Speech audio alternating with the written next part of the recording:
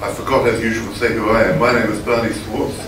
Uh, I am uh, a senior fellow of the Centre for Public Christianity, and uh, I resigned last year after 12 years as religion editor of The Age.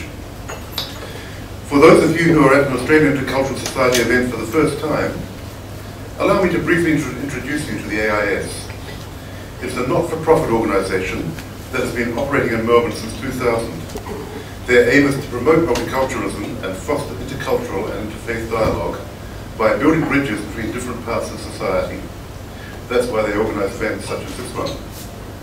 Since its establishment, the AIS has organised international study tours, academic conferences, cultural exhibitions, Ramadan iftar dinners, and government-sponsored projects, and many, many more activities. Each event provides ample networking opportunities, so the circle of AIS supporters is constantly growing. Uh, my first encounter with AIS was more than 10 years ago, in 2004, with the Abraham Conference, of, uh, which was a really important interfaith breakthrough uh, in the early days of efforts in this town. And then I was fortunate enough to go on a, Turkey tour with my nephew Ahmed.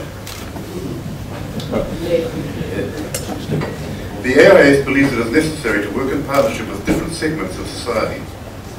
Alongside connecting with cultural and religious organizations, the AIS has worked with people in the areas of government and public service, education, academia and media. They have collaborated on projects with federal departments and local councils, including the Victoria Multicultural Commission, the Australian Federal Police, and the Department of Foreign Affairs and Trade. They also have relationships with organisations such as the Catholic Archdiocese of Melbourne, the Rotary Club, Deakin University, and the Buddhist Council of Victoria. As you can see, as you can see, they're, they're really well connected.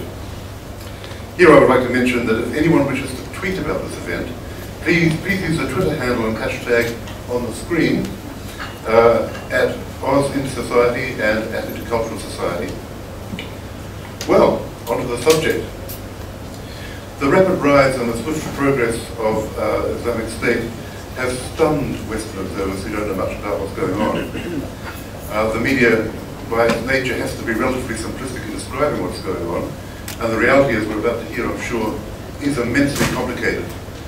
And uh, for those of, in the room who are, who are, not Muslim, think maybe Christianity of the 16th century, uh, with, with the extraordinary number of, of uh, different agendas that were going on, the extraordinary number of small denominations as well as big groups.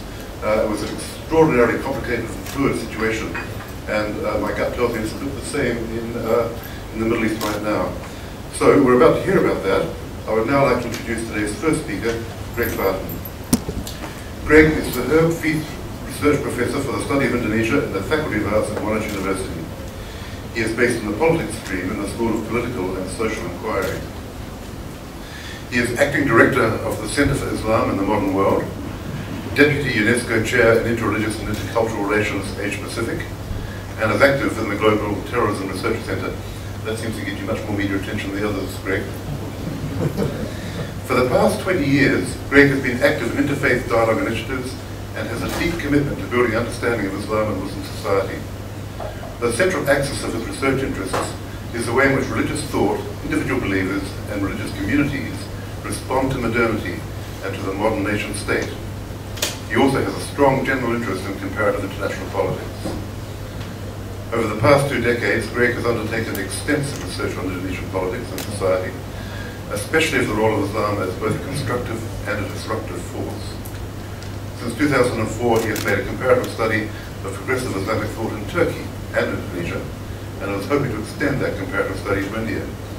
Without further ado, Greg, over to you.